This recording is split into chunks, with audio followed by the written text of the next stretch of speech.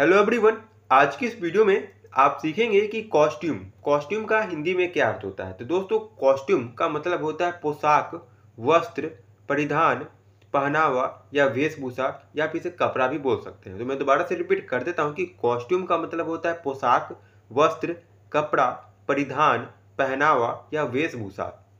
तो चलिए कुछ एग्जाम्पलों के ज़रिए सेंटेंसों के ज़रिए इस वर्ड को हम लोग और अच्छे ढंग से समझ लेते हैं।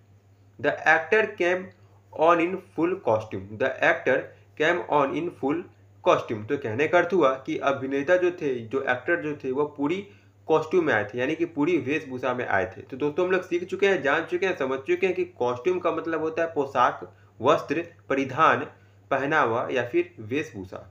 तो इसी तरह के डेली नए नए वर्ड सीखने के लिए जाने के लिए अभी लाइक और सब्सक्राइब करें हमारे चैनल को ताकि आप यहाँ डेली नए नए इंटरेस्टिंग वर्ड हमेशा सीख सकें, क्योंकि हमारे चैनल पर प्रतिदिन नए नए इंग्लिश वर्ड से रिलेटेड वीडियोस अपलोड किए जा रहे हैं, जिसे देखें और सीख के आप अपने अंग्रेज़ी को और बेहतर से बेहतर बना सकते हैं। तो दोस्तों, आज की इस वीडियो को देखने के लिए आपका बहुत बहुत धन्यवाद।